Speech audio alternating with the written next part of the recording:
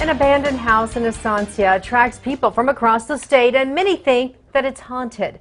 But how it got there might surprise you. News 13's Jackie Kent shows you the history behind it. This rickety house, fenced off from the public on Highway 55, has a haunting reputation. It's been abandoned now for probably 20 years. Ask almost anyone in the small town of Estancia. It's a really small town, probably about a thousand people. Many say the superstitions behind the now doorless walls and moss-covered roof tiles If you travel by, sometimes you can see a, pe- a person standing in the window. attract people from across the state to snap a picture with hopes of spotting something eerie. It's a kind of a ghost house. People love it for this time of year for Halloween. Board of Trustees member and former Estancia Mayor Mauro Hall says how it got here is just as surprising.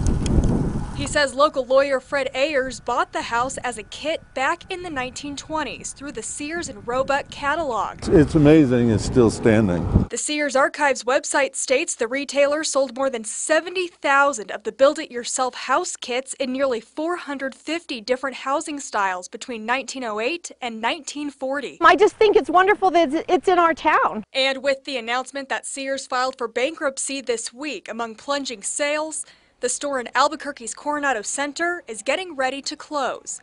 Meanwhile, this home It looks about the way the Sears and Roebuck looks right now. is still standing, with Estancians proud to share its history nearly 100 years later. And I hope it lasts for many, many, many years to come. Jackie Kent, KRQE, News 13. The house is still owned by the Ayers family, which currently raises cattle on the surrounding land. There's another house in the state with a connection to Sears. The historic Candido Gonzalez house in Corrales was built with material from a Sears home kit, including the window frames and the wooden trim.